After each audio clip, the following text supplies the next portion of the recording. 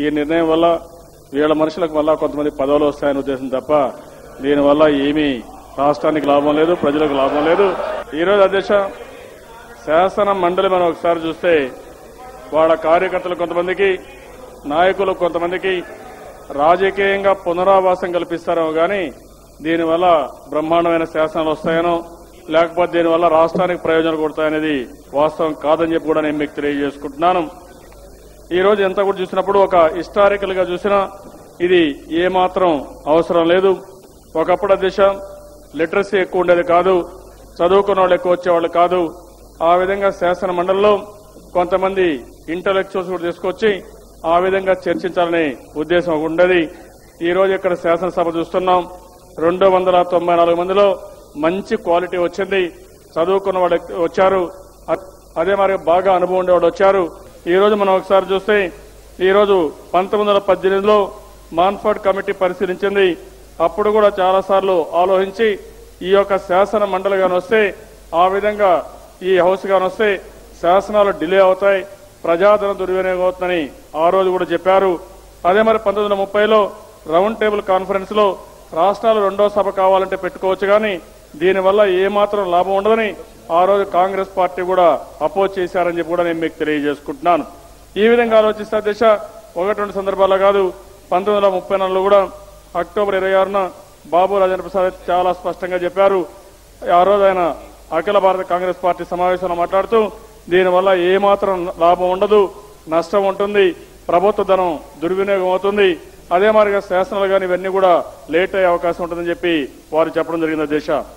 అయితే ఆ రోజు రాజ్యాంగంలో దీన్ని ఒక పక్కన ఎవరైనా మేధావులు ఉంటారేమో అందులో కూడా దేశ మీరు ఆలోచిస్తే మనకు స్వాతంత్రం వచ్చినప్పటికీ చాలా మంది చదువుకోకుండా ఉండడం లిటరసీ లేకుండా ఉండడం కొంతమంది ఈ రిజర్వేషన్లో కూడా అదే మరిగా చదువుకో గ్రామీణ ప్రాంతాల్లో చాలా మంది చదువుకోని వచ్చారు.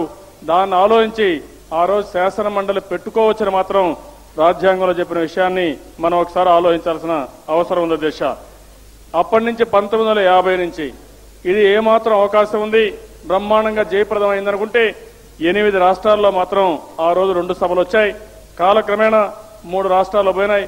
ఒక ఐదు రాష్ట్రాల్లో మాత్రం శాసన మండలి ఉండే పరిస్థితి వస్తా ఉంది. అదే మరిగా దేశ ఈ రోజు రాజ్యసభ దేశ స్థాయిలో చాలా దేశాల్లో ఉన్నాయి.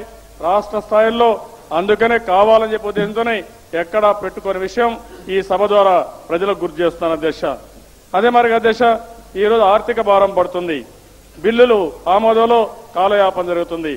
అంతేకాకుండా ఇరవై కోట్ల రూపాయల దగ్గర దగ్గర ఈ శాసన మండలి వల్ల అధిక భారం పడే పరిస్థితి వస్తూ ఉంది. ఇది కాకుండా టైం కన్జ్యూమ్ కన్జ్యూమ్ అవుతుంది. ఈ రోజు ఇక్కడి నుంచి ఒక బిల్లు పంపిస్తే మళ్ళీ అక్కడికి పోవడం అక్కడ పాస్ కావడం అవసరమైతే మళ్ళీ తిరిగి వస్తే మళ్ళీ డిస్కషన్ జరగడం ఈ విధంగా కాలయాపన జరిగే పరిస్థితి వస్తుంది. అంతేకాకుండా ఈరోజు ఆర్థికేతర బిల్లు విషయంలో మండలికి ఒక పటిష్టమైన అధికారాలంటూ ఏమీ లేవు. అదే కాకుండా ఆర్థిక బిల్లులన్నీ కూడా శాసనసభే ఆమోదించే పరిస్థితి వస్తుంది. అదే మరిగా ఏదైనా ఒక బిల్లు చట్టం కాకుండా అడ్డుకునే శక్తి మండలికి నాలుగు నెలలు మాత్రమే ఉంటుంది. తర్వాత ఆటోమేటిక్గా చట్టమయ్యే పరిస్థితి వస్తుంది దేశ. అదే మరిగా దేశ ఏదైనా రాజ్యాంగ సవరణలు వచ్చినా అవన్నీ కూడా రాష్ట్ర శాసనసభ తప్ప మండలికి ఏమాత్రం కూడా ప్రమేయం లేదని చెప్పి కూడా నేను మీకు తెలియజేసుకుంటున్నాను. కడక దేశ ప్రెసిడెంట్ ఆఫ్ ఇండియా ఎలక్షన్లో కూడా వారికి ఓటింగ్ రైట్ లేదు. ఆ విధంగా మనం ఆలోచిస్తే ఇన్ని ఒక లిమిటెడ్ పవర్స్ తప్ప ఇంకేమాత్రం కూడా ఉండేది లేదు. అందులో కూడా మనం అనుకున్న ప్రకారం పెద్ద మేధావులు వస్తారని లేదు. ఎందుకంటే శాసనసభలో మళ్ళా మనం ఎవరిని పెడతాం తెలుసు. లోకల్ బాడీల్లో కానీ ఇవన్నీ వచ్చే అవకాశం ఉంది. ప్రజాభిప్రాయం తీసుకొని మీరు ఈ నిర్ణయం తీసుకోండి కానీ ప్రజల జీవితాలతో ఆడుకునే విధంగా ప్రజా ధనాన్ని దుర్వినియోగం చేసే విధంగా ఏమాత్రం ఉపయోగపడినటువంటి ఈ శాసన మండలి బిల్లును మీరు ప్రవేశపెట్టి దీనివల్ల లాభం రాదు నష్టం వస్తుంది ప్రజలకు డబ్బులు భారం అవుతుంది.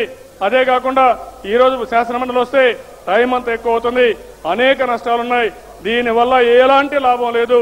అలాంటి బిల్లు అవసరం లేదని చెప్పి నేను ముఖ్యమంత్రి గారికి అదే మరి లెజిస్లేటివ్ అఫైర్స్ మినిస్టర్కి విజ్ఞప్తి చేస్తున్నాను. అధ్యక్ష